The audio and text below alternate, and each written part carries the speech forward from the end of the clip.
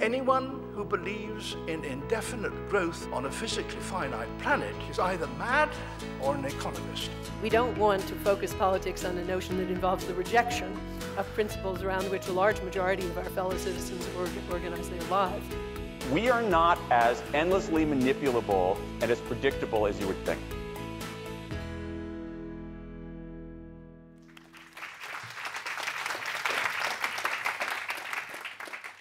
Biology has shaped the way men and women cooperate and has done so since prehistory. And the lesson of how it has done so is still important for understanding the way men and women cooperate today. But in particular, I focus on the fact that women have paid a price for the way in which we cooperate. And it's a price that we can understand better if we dig uh, sufficiently hard into the roots of our evolutionary past. I think the first and important lesson is that conflict is at the heart of cooperation. Conflict and cooperation are two sides of the same coin. It's when you have a lot to cooperate about, when you have potentially large gains from cooperation, that there is so much temptation to, to be in conflict about the terms under which you do that. It's precisely because when uh, parties have a lot to share from cooperation, that the question how those gains should be shared becomes so urgent and so difficult. The uh, central idea that anybody studying economics looks at is scarcity. Different resources are differently scarce, and the value of those resources reflects their scarcity. Now, the really striking thing about sexual reproduction is the different scarcity of the gametes, the sex cells that the two sexes bring. Eggs in any species that has females and, and, males, which not all species do, are scarce. They're larger than the male gametes. They typically come with some nutritional resources, and there are not very many of them. So women, female uh, human beings produce uh, an egg uh, at a rate of one a month. Male produce a thousand sperm a second. Now, it's because the obstacles to fertilization are not merely lo logistical, they're about the negotiation of the male and the female interests in reaching fertilization that the most interesting and difficult questions about sexual reproduction arise. And notably, what has happened is that natural selection has selected for selectivity in females and persistence in males. Why selectivity? Because females who have this scarce resource don't wish to waste it on unsuitable males. And males who find themselves uh, in uh, excess compared to the uh, limited number of available uh, female gametes uh, will then undertake all sorts of strategies, some very manipulative, some very persuasive, some very seductive, some very violent, to uh, ensure that their gametes are selected over and above all of the competing ones. The male persistence has tended to take one of two broad types. Um, this was something that uh, Charles Darwin wrote about in his great book, The Descent of Man, and he was fascinated by the way in which male persistence sometimes expresses itself through force, through violence, either through fighting between rival males, or force exerted on females by males. And sometimes it's expressed itself through signaling, uh, through competitive signaling to try to induce females to cede to the charms of the male signalers. Conflict between males and females occurs even over something as simple as where to, and how to mate. Um, females, after all, have mating opportunities which are scarce, which should not be wasted, and for males, those mating opportunities are potentially not so scarce, and a male that mates in one context is still able to mate relatively soon afterwards. Unlike a female for whom mating involves a major commitment of her body, of her resources. Here are the antennae of a water strider. Now, the relatively delicate antennae on the left belong to the female. The antennae on the right involve some grappling hooks that appear to have evolved for the sole purpose of holding down recalcitrant females. So these are adaptive uh, pieces of anatomy that unfortunately, uh, appear to have no other purpose. And what they illustrate is a point that is worth coming back to again and again, which is that natural selection never selects for optimal or adaptive relationships. Nat natural selection selects for particular traits which may be adaptive in the sense that they get themselves copied.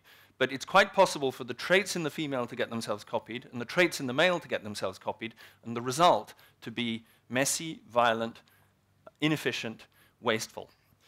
Now, you might think that against that, signaling behavior is uh, likely to be a rather pleasant sort of thing, and indeed a rather efficient sort of thing. But though omnipresent, though essential, is hugely wasteful. So the poster child for the wastefulness of signaling is the, the peacock. It's hard to imagine an appendage that could be more unlikely to help the bird to hide from predators, to escape predators, in general, to survive and uh, leave its offspring. But it grows it because the female has learned to prefer it. And females prefer large tails, not for arbitrary reasons, but because these are known to be correlated with other indicators of fitness in the male. Now, one of the things you notice is that precisely because of the asymmetry that I described in terms of the scarcity of the, of the gametes, this means that the signaling tends to be done by the uh, sex with the abundant gametes. So it's the males here who are signaling. This primate has the unusual feature that all of those individuals that you see there in the front row that look like males are actually females. And what it illustrates is something about what Homo sapiens has done. The signaling is being done by both sexes. They're signaling to each other. So there's bilateral signaling in Homo sapiens, which is a little different from many other species. The females are not having to uh, cope with any problem of the available quantity of males, but a good man is notoriously hard to find, and it could be that there's something about male quality that is scarce. Some species, like our own, have developed elaborate forms of signaling that are bilateral, signaling to other people, not only members of the other sex, but also to our colleagues, our employers, and so on, is a very big part of the story about both what makes us human more generally and what holds us back sometimes from realizing the possibilities that our cooperative natures make uh, available to us. Now, the difference between us and most of the other animals really resides in the very large-scale cooperation that we have undertaken. We, in particular, we invested in something that doesn't exist on the same scale anywhere else in the animal kingdom, which is the long childhood. Our offspring are dependent on us for much, much longer than those of any other animal, and they require massively greater investment. And in particular, they require investment that mothers cannot make on their own. The kind of alliances that a mother needs to construct to look after her children don't just involve the biological father of the child, although they may do, but involve a whole coalition of other parties, including the grandparents of the child, including other males, other females uh, in, in a group. And essentially, life in forager societies for women was about building the alliances that were necessary to give your children the chance to survive. Millennia, actually more than that, millions of years of a division of labor that persisted throughout prehistory has essentially been abolished in a matter of a few decades by an unprecedented and extraordinary tide of female talent that has swept into large areas of economic life that were previously occupied only by men. What has happened since World War II has been spectacular. Women's participation in the labor force has risen from just under 30% to just under 60%. And in fact, if you include if you, women who do not have children under the age of five, their participation in the United States, at least, is as high as that of men. In particular, uh, women now occupy a small majority of jobs that the US Bureau of Labor Statistics calls managerial and professional jobs. So by that criterion, it looks as though in some sense all of the important general areas of uh, previously male work have now been opened to women. And it's in the light of that extraordinary development and extraordinarily rapid development that the remaining puzzles seem even harder to understand. One is the fact that some occupations continue to have very low participation of women. So if we start with things like the fact that women make up only 32% of lawyers, 32% of physicians and surgeons, 25% of architects, you can then construct a list going down to some truly remarkable uh, statistics, such as that women make up only 1.2% of airline pilots. Even within occupations, in those areas of modern economic life where real economic power is concentrated, women are startlingly scarce. So among the Fortune 500 companies that are the most important in the uh, US economy, less than 16% of board members are women, and only 2.4% of chief executive officers are, are, women. So whatever process has resulted in those kinds of outcomes, uh, you can start to imagine the large amount of female talent that must have been somehow overlooked or left out. And it's because of the truly impressive nature of the previous change and of the general change that I think that remaining asymmetry, that remaining discrepancy, uh, is so puzzling. There are psychologists who will tell you, I'll define talent or IQ or ability as, you know, the mean of performance on test X and test Y and test Z. Um, what is very rarely offered is any reason why the mean of text X, test X, text Y, and text Z should be the right measure. And without a theory of how to weight performances on these different skills together, I think we are a very, very long way away from any possible conclusion that there are systematic overall gender differences in talent. Now, if it's not talent, is it preferences? There are really three dimensions on which uh, there are systematic differences in women's preferences from those of men, partly for competitiveness and risk taking, partly in terms of preferences for negotiating style. And then there are uh, fairly clearly documented differences in preferences for flexibility in working lives, um, with women being uh, systematically more likely to uh, prefer flexible hours, to take breaks early in their careers, and so on. Now, before you think that these differences in preferences are the answer, the puzzle is why the price paid for those differences in preferences is so high. In particular, it's not surprising, you might think, that a woman who maybe takes five years out of her career to raise children might be less able to earn as much as her peers when she returns to work, say in her mid 30s.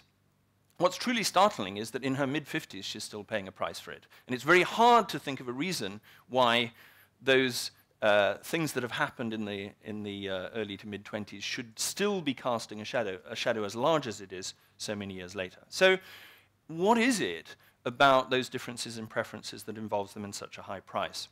And the missing element I want to suggest is those coalitions and networks that I signaled the importance to you of earlier. Women's networks seem to be more stable, more loyal, more based on trust, more based on, on dependability. And you can see reasons why in prehistory that was important. If your coalitions were the uh, thing that, on which your child's life depended, then you would be very, very careful about spending your time with people whom you couldn't trust, with whom your links were purely superficial. No, so stable, loyal coalitions sound like a good thing, and they were very important in prehistory. But in the vast impersonal world of the modern corporation, they don't do enough to get you noticed. And the corporate world is full of many talented women who, in some sense, are flying beneath the radar of the still largely male recruiters to the top positions.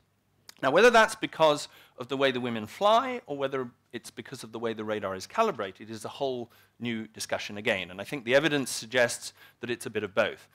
But what it does imply is that there are opportunities for recruiting talented women that the recruiters to the modern business world are systematically overlooking. Those opportunities are lying outside the boundaries of their still uh, rather narrow field of vision. Think back to the world of the forager society in which uh, men and women would be signaling to each other not only about potential mating opportunities in the future, but about what the way they behaved with respect to the hunt, to, with respect to gathering, with respect to the raising of their children. Women would be signaling characteristics like conscientiousness, which we know from uh, labor market data today is enormously valued by modern employers, and they would be doing so in forager societies in a way that everybody could see them. Today's economy has separated the workplace from domestic life. So women who take some time to move from the workplace to domestic life, then spend several years, the most important years of their lives, in which they do some of the most valuable things that uh, uh, they're available to do, signaling qualities which, did they but know it, their future employers would value, but the future employers are not around to observe those qualities. So, in some sense, what seems to be at work here is a problem of failed signaling in the modern workplace, which is costly to women's professional opportunities, but is actually costly to men too. If you think about the kind of signaling that men undertake when they work long hours in the office to convince a potential employer or an actual employer how committed they are to uh, the employer's interests and needs, then you must think to yourself that in the world made possible by modern uh, teleworking, uh, it should be possible to signal that degree of commitment in an easier way. So men who spend excessively long hours in the office to signal their commitment are just like those peacocks. They're using a wasteful mechanism, which is still adaptive for the individual, but if a better way could be found to signal those same qualities, it would be better for all concerned.